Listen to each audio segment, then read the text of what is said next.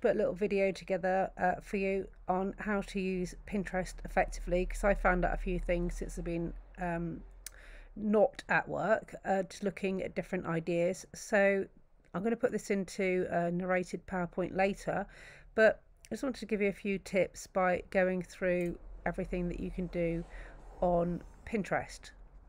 So this is a board I put together for year 10. It's called World Textiles, but I think it can be used for any any project really. It because it, it, features lots of um, flowers and beautiful print ideas. So don't forget, you don't have to be confined by your design brief. It doesn't need doesn't necessarily mean that if you're doing decay, you can't look at different flowers and different print ideas, um, or even landscapes. Everything can be used. Um, just looking down here, this this particular piece here if you were if you were doing landscapes for example stella this dress lends itself really really well and you could analyze this dress. So don't think that you just have to look at art or paintings. It can be structure it could be any any different ideas um, that are inspirational to you.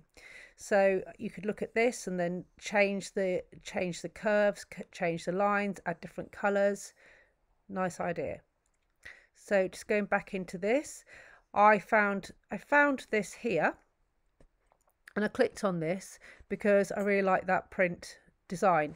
And um, it inspired me to do some prints at home actually which I'm going to show you in the PowerPoint later. But I just thought I was if I was going to analyze this how do I know about it? Who is it? And and, and where does it come from? So I clicked on this really like this print idea and then I went onto here clicked again and it turns out that this is part of a collection of magazines that have all been put together. I think it's 1902, uh, yeah, 1901 here. So the description based of 1901.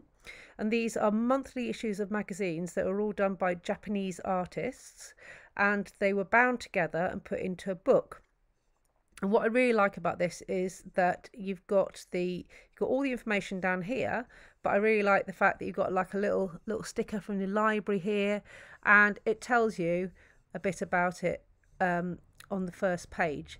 So if you go down here and you click right, obviously we can't read that unless you can read Japanese, but there we go. And then keep going through, and there's some absolutely incredible designs and prints in here that are really inspirational that I definitely would not have known about had I not clicked on the link.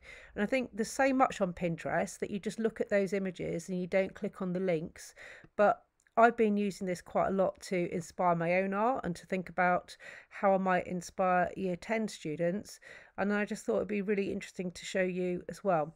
So all of these lovely little print ideas you can do at home. They're so easy. You can use markers, you can use different watercolor pencils. I, I you can get them on Amazon for three pound a set of watercolors. Um, you can use any of any drawing equipment you've got at home. So and don't forget, if you're doing things like this, mixed media is a really good idea. So different washes. This is a collage idea, and I really like this because it's just some simple um, pale paper, and you can get that on Amazon as well. I think it was about two quid. I paid for loads of A4 uh, pastel coloured paper. I just cut out shapes and ideas, and this gets you really good marks uh, for AO2 because you're thinking about different ways of experimentation, but you don't have to use fabric. And so don't limit yourself to thinking oh i don't have the right resources so i can't respond. I can't i haven't got the proper uh, fabrics or different uh, threads.